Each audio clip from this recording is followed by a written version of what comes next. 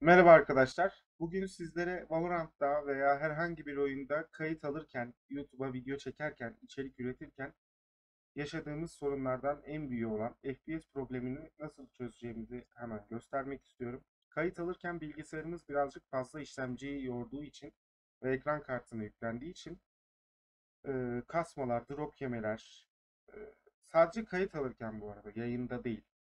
Kayıt alırken bu kasma, donma, FPS drop yemeği hepsini çözeceğiz. Şimdi sizlere önce şu OBS'i bir çekip kenara göstereyim.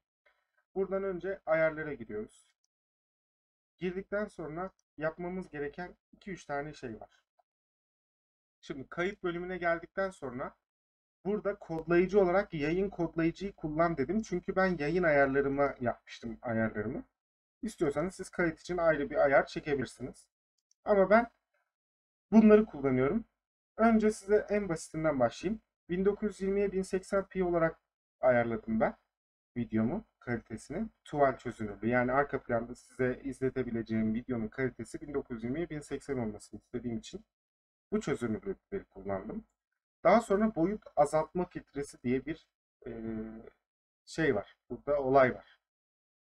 Buna tıkladığımız zaman burada 4 tane seçenek var en üstteki aşırı kötü. Yani iğrenç bir şey. Bulanıklaştırıyor böyle iğrenç sanki birinci nesil bir bilgisayarınız var çok kötü iğrenç ya bok gibi bir şey. İkincisi de aynı. Üçüncüsü de orta derecede idare eder. Yani bilgisayarı kötü olanlar o üçüncü seçeneği seçebilir. Ama en iyisi boyut azaltma filtresinde kullanılmak üzere ayarlanan Langsos. Keskinleştirilmiş boyutlandırma. 36 örnek. Burada zaten parantez içinde yazıyor. Siz de okuyabilirsiniz. Onu, onu seçiyorsunuz. Tertemiz mis gibi videonuzu çekebilirsiniz. Sonra FPS değerlerinde ister 30 ile alın ister 60 ile alın. Bu bir şey ifade etmiyor. Aslında 30 ile alanlar da e, hiçbir problem yaşamadan videosunu atabiliyor. 60 ile çekenler de ben en iyisi olmasını istediğim için 60 ile çekiyorum. Yani bilgisayarınıza güveniyorsanız böyle yapabilirsiniz. Sorun yok. Sonra hemen çıkışa geliyorsunuz. Çünkü sizin yayınla alakalı yapacağınız bir şey yok. Yayını hemen bundan sonra anlatacağım. Çıkışa geliyorsunuz. Videoyu hallettik. Çıkışa geldikten sonra kayıta tıkladık. Baktık buradaki kodlayıcıya gelip tıklayıp buradan yayın kodlayıcıyı kullan diyoruz. Sonra yayına geliyoruz. Kodlayıcı olarak iki tane veya üç tane seçenek vardır. X 264, 286 öyle bir şeyler var. Onlara hiç bulaşmayın arkadaşlar. Ben bulaştım, siz bulaşmayın. Neden diye sorarsanız oyuna girdiğimizde göstereceğim. X264 ile çektiğim videoda mesela tünelden sayda geçtiğim zaman çok fazla büyük bir FPS drop yiyordum.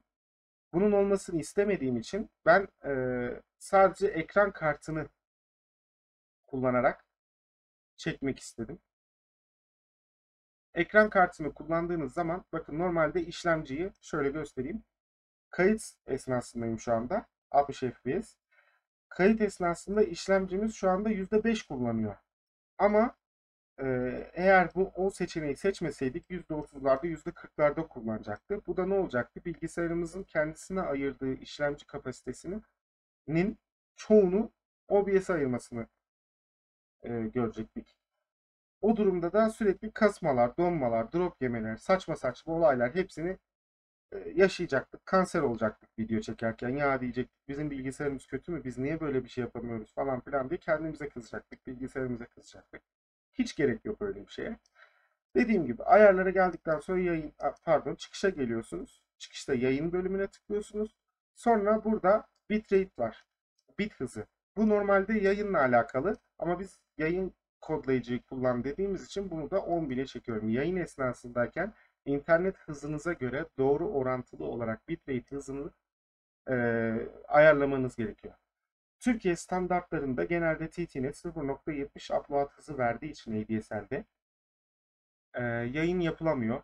Yani yapmaya çalıştığınız zaman çok üzülürsünüz.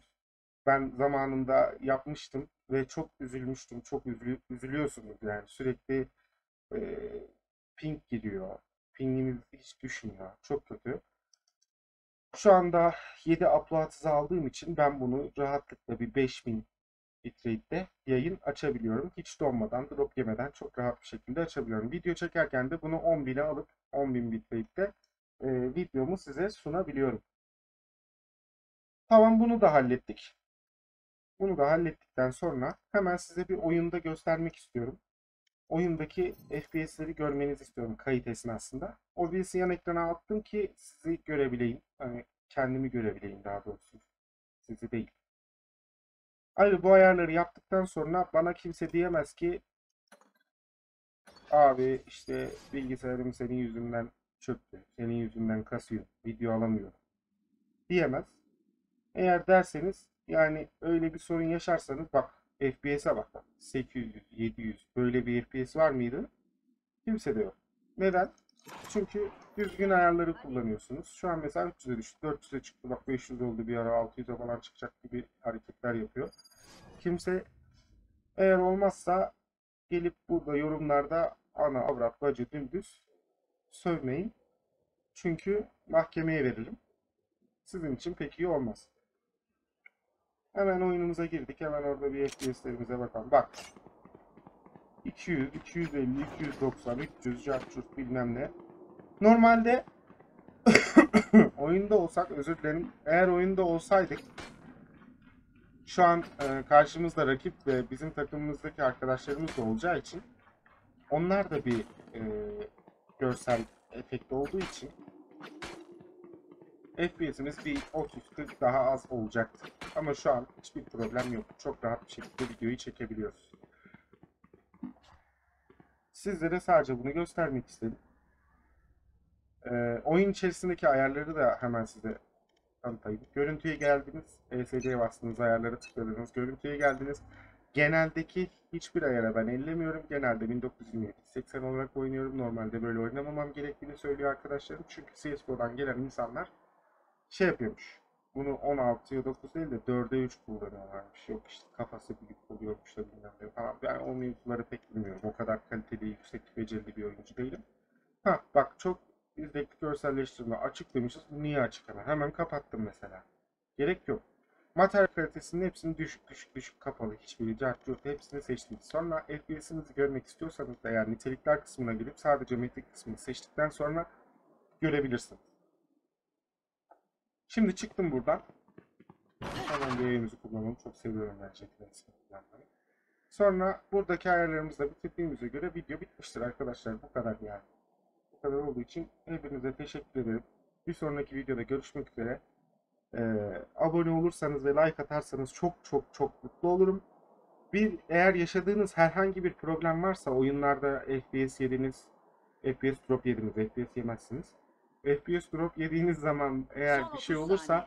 direkt yorumlara yazın. Gökhan abi yardım et ne olur işte biz şurada drop yiyoruz yapamıyoruz sen halledersin falan diye yazın. Ben hemen hallederim arkadaşlar. Hemen onun için bir video çekerim veya işte Discord'uma gelin Discord'dan hemen size yardımcı olayım canlı destekten. Öyle size bir şeyler öğretmeye çalışıyorum. Son Kendinize iyi bakın. Görüşmek üzere. Bir sonraki videoda görüşürüz. Bay bay.